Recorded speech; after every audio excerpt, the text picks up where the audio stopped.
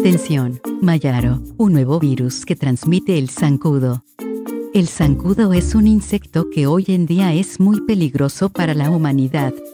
La razón es debido a que puede transmitir una gran cantidad de enfermedades. En los últimos meses dos de las principales son el chikungunya y Zika, sumándole el dengue, pero recientemente se han encendido todas las alarmas, pues se ha descubierto que este zancudo ahora transmite un nuevo virus llamado Mayaro. Las autoridades de Estados Unidos han informado que están por confirmar un posible caso de la fiebre de Mayaro en Haití, un virus que transmite el mosquito Aedes aegypti, el mismo del dengue, Zika y chikungunya. Los ministerios de salud de Puerto Rico y República Dominicana han informado que esperan la confirmación de este caso, detectado por investigadores de la Universidad de la Florida.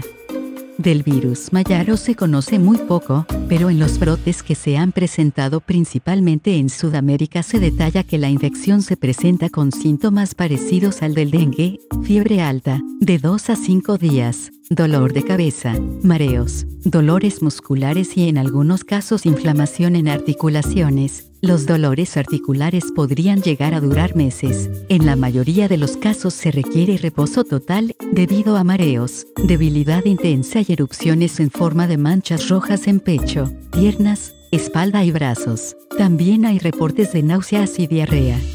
No existe registro que el virus produzca microcefalia y tampoco hay reportes de muertes vinculadas al mismo. El virus Mayaro ha sido encontrado en animales de zonas boscosas y selváticas del Amazonas. Fue descubierto por primera vez en 1954 en la cuenca del río Claro Mayaro, en Trinidad y Tobago.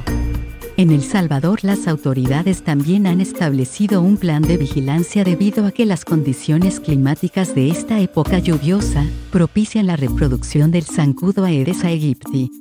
El virus es relativamente nuevo en la región y aún se desconoce su potencial y velocidad de contagio. El brote más reciente ocurrió en el año 2000 en Venezuela.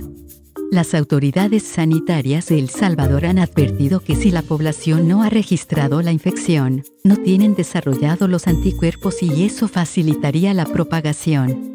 Si la OMS confirma la existencia de la enfermedad en Haití, los sistemas de salud públicos de las Américas deberán encender alarmas debido a la rápida circulación del virus desde la isla. Si tienes alguna pregunta sobre este vídeo, por favor déjala en los comentarios, trataremos de responder a la mayor brevedad posible, no olvides compartir este vídeo en Facebook, Twitter y Pinterest. Hasta pronto.